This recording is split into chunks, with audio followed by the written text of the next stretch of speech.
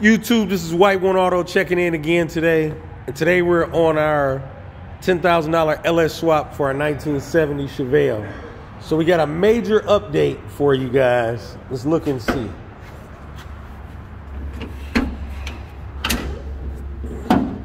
So we had to pull some hocus pocus here. We had some things kind of change for us.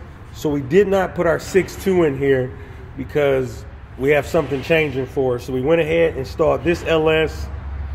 Um, it's an LS. It's backed by a 4L60. You guys can comment and see what size do you think it is. So we're still using all Holley components to mount everything. See, we got um, the um, hooker headers, the Holley, the hooker mounts. That's all Holley. A Holley um, mid-mount serpentine setup. Let's raise this thing up in the air.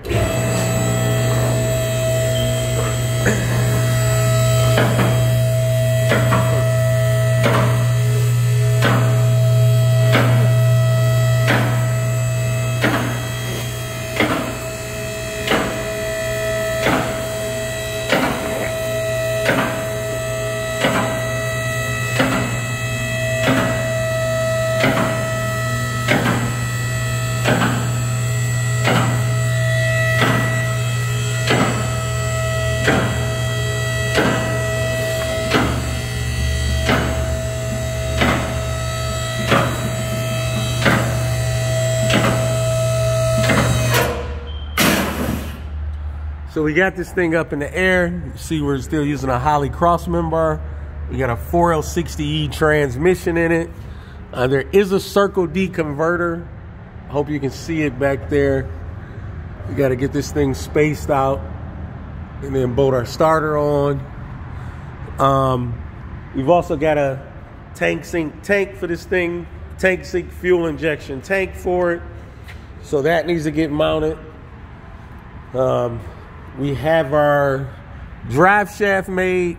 We're going to connect to the other exhausts that that that, that we had with these lovely sounding MagnaFlow mufflers coming off of our hooker headers there from our, um, we have a 12 bolt back here with a 411 in it and we're just gonna keep this thing moving so I'm trying to make oil pressure here as quick as possible here so we can get this thing driven.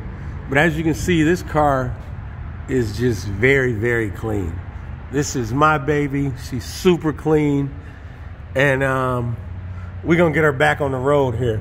So continue to rock with us, like and subscribe. We're gonna keep this thing moving.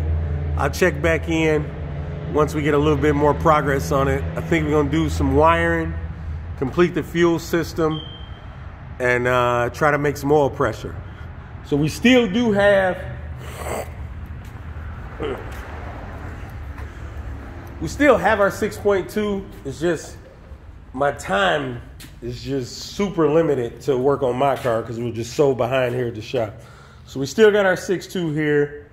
We still got our AFR heads. We're still using all that stuff, but just not right now on our, we're just not gonna use it right now on our um, 6.2 on our um, 1970 Chevelle.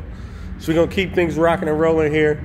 Thank you for continuing to like and subscribe with us here at White One Auto. Thanks.